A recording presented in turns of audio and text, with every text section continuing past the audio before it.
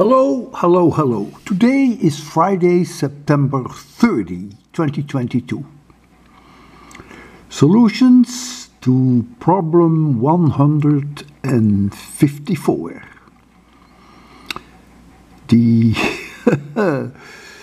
deuterons accelerated in a cyclotron. So read with me. We wish the particle to have a kinetic energy of 10 MeV. That is so many joules. At the exit radius, which is one meter. It goes around, radius one meter, and then it exits, and then it's 10 MeV. So we may solve, solve now for the necessary magnetic field strength. I derived this in lecture 13 of 802. M is the mass of the deuteron, K is the kinetic energy, Q is the charge of the deuteron, and R is the radius of that circle. So you plug in the numbers here and you find 0.65 Tesla. Here is the mass of the deuteron, I gave that in the problem. Here you see the 10 MeV, and here you see the mass Q of the deuteron. Has only one proton. And the radius is one meter. So it's all there. If you work out the speed corresponding to this desired kinetic energy, using the familiar equation that k is 1 half mv squared, you will find that v is approximately equal to one tenth of the speed of light.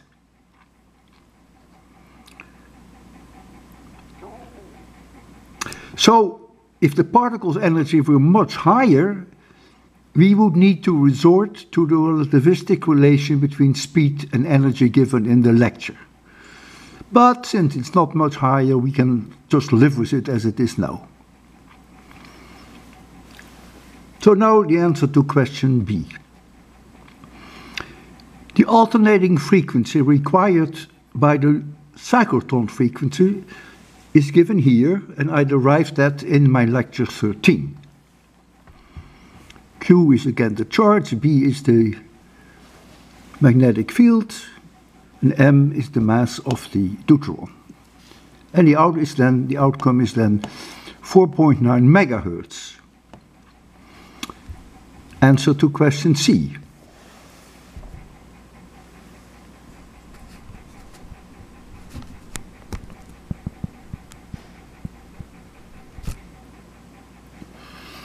The neutron has one unit of electric charge. I mentioned that earlier, the 1.6 times 10 to the minus 19. So with every passage through the 22 kilovolt gap, it gains 22 kiloelectron volts of kinetic energy. However, it passes through the gap twice per, per revolution.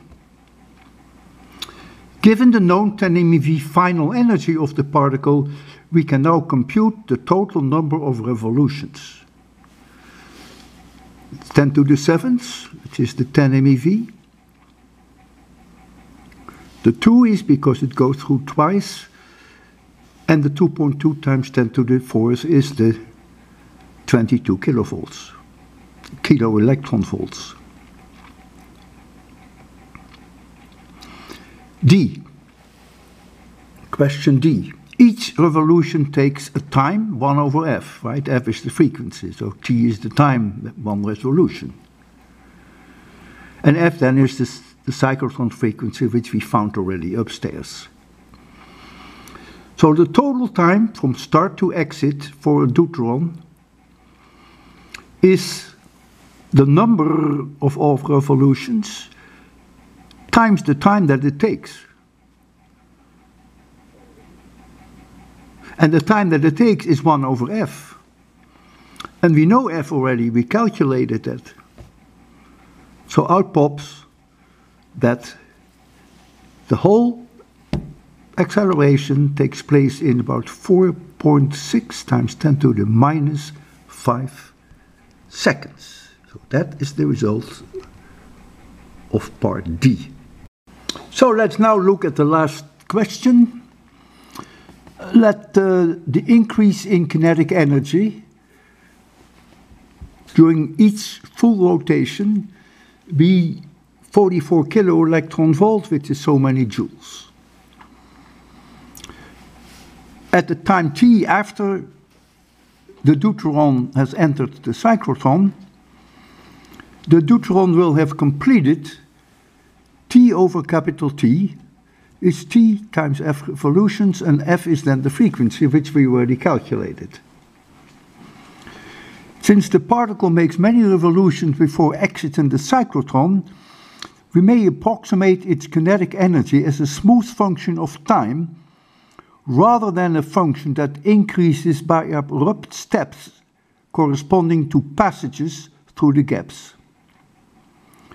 So we then have that 1 half mv squared is delta k, which is the increase for each rotation, and this tf is the number of rotations.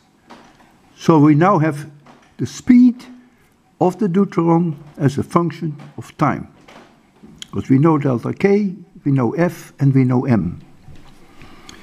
To find the total amount of ground covered, over the course of the cyclotron trip, let's call that delta S, we integrate the speed with respect to time over the trajectory.